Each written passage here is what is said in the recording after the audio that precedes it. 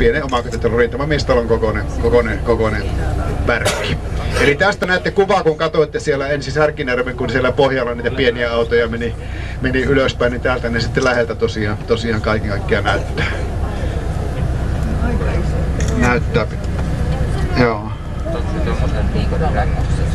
Et senkin takia niin kun näette nämä teiden leveydet ja, ja, ja turvallisuus ja nopeusrajoitukset ja muut, niin näissä on aika isot massat sitten, että, että ollaan, ollaan aika isoiden, isojen koneiden kanssa siinä mielessä sitten tekemisissä täällä.